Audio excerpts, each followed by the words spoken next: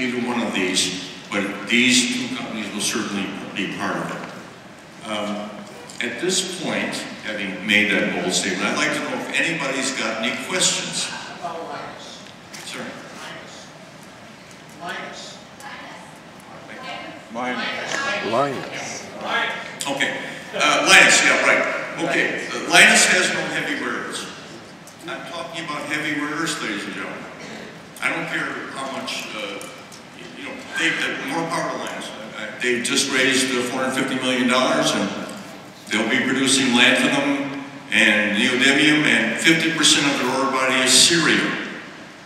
And an officer of one of uh, the river companies said to me this morning, can you speculate for me what would happen if China eliminated the export tax on cerium?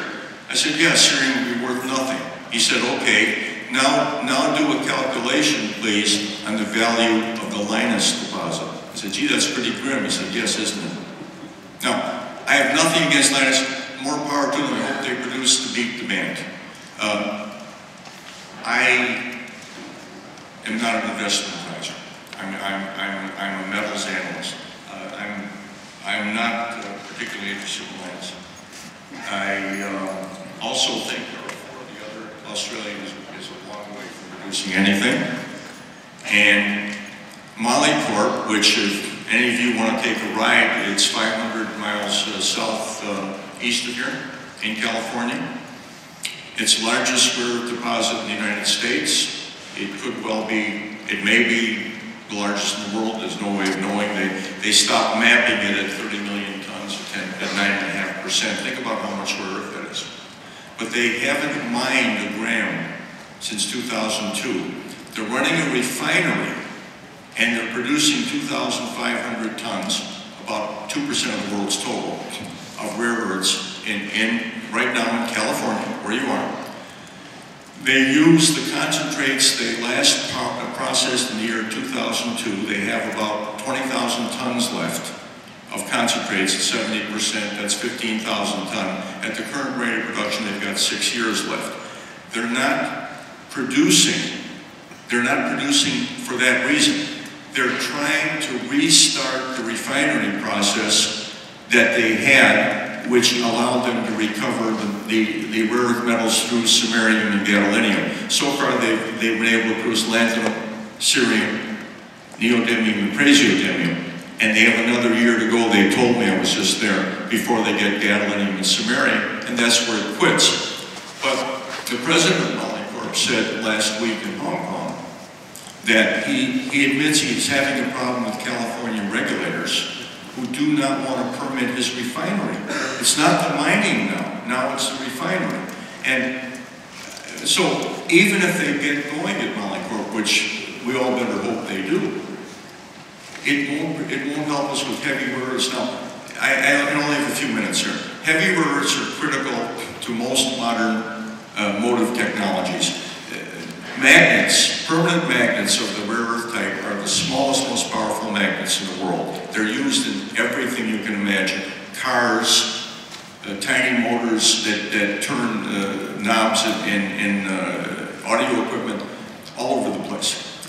And in order to work at high temperatures, like in a car running at high temperature or a jet aircraft that needs to move an aileron, you know, maybe it looks cold out there to you, but in the working parts it's getting pretty hot. And magnets, permanent magnets have the unfortunate property that when they get too hot, they stop being magnets. Th- That could be a real problem when you're trying to move an aircraft to the surface at, at 600 miles an hour. So you, you process, you make a special kind of alloy with these heavy rare earths, and that allows the magnet to operate at very high temperature. That's why it's important, and it's critically important to, to almost anything involving a generator or motor. These metals are very important. That's why I'm emphasizing them. There are no such metals at Mountain Pass. It- I'm going to speculate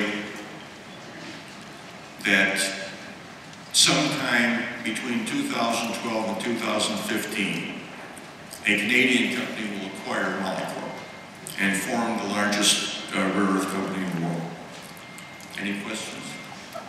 Only for have a new solvent process, new extraction process. Does Molycorp have a new extraction process using solvents? No. Mo- Moly, it made, Molycorp, it was, has been producing rare earths up until 2002 from like 19, the late 50s. Okay? And the thing is, there's been a lot of advances in what's called metallurgy. These guys call, what I call chemical engineering, they call metallurgy. There have been a lot of advances since then. They stopped all work in 2002, all mining or refining. They started the refinery up again in 2007. They have one employee left who was there. It- Chevron ran the operation until 2000. Chevron owned until 2007 in September. The, the deal closed two months ago. The new people have some sort of a new process of extraction using some solvent that apparently is much more efficient. Are you aware of this, or? A a method of extracting the rare earths using a special solvent. That's, that's how we do it, sir. Uh, They have a huge uh, solvent extraction plant there. Um, I, I walked it, they were very open, we talked about what they use for, what solvents they use. But what you need to know is that if you load that plant on the front end today, the higher atomic number earths won't come off for 18 months. That's a very, very long process. And nobody there has run the process to that level, except one gentleman, the, the chief engineer. They are, they are trying to restart it. It is not something you, you do with a, with a switch. Okay? It, it's a process, and they have not been successful yet beyond neodymium. I'm, I'm not knocking them. That's the only rare earth separation processing plant that I'm aware of in the Western world. So they're the only ones who've got such a plant, and I hope they actually get it back into full operation. But the, the problem is California is saying, not me, that you have a new process requires a new permit. That's, I think that's what's stopping them. What's the total market for heavy? Sorry. What's the total market in dollars for heavy rare earth? What is total market in dollars? Can somebody translate? Total market in dollars?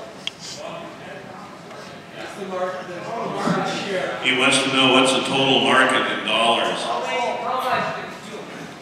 Uh, last year, about a billion four. Million? It's trivial. Billion. It's, the, the market isn't important. The- I mean, at the mine face, the products in which these uh, uh, chemicals go, these elements go, represent hundreds of billions of dollars of product. That's the key. And we will not be able to make them without that billion four.